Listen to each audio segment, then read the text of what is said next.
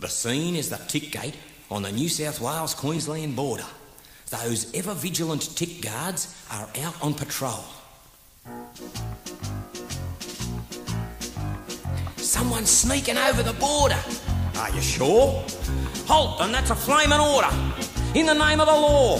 Now stop that yelling or I'll use force. Strike me pink, they've all gone hoarse. The Brisbane Broncos, this means war. The team we love to hate? The Broncos. They come from that other state, the Broncos. They haven't got an Aussie name. They've won no finals, what a shame. The Buckin' Brisbane Broncos. Each year they say they've got the power. It's in the booze. They look impressive in the shower. Mmm, lovely views.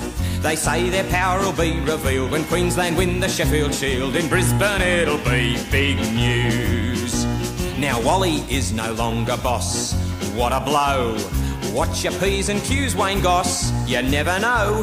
He's led the state so many times. He might have the Premier's job in mind. King Wally in and out, Goss goes.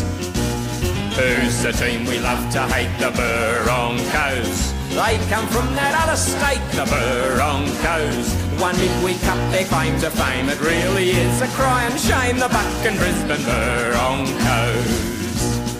Wally says it'd make you spit, but that's how it goes. The captain's job. Now wait a bit. It could be Joh's. Hey Joh, come out of retirement, kick southern heads to your heart's content, be captain of the Broncos. I can see Joh psyching up the team with Sam Backo. Uh, golly, now, uh, you, you know what I mean? Now, uh, now off you go.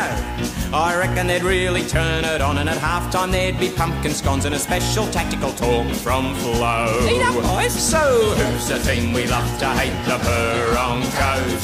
They come from that other state, Broncos. They haven't got an Aussie name. They've won no finals, what a shame. The Buck and Brisbane Broncos.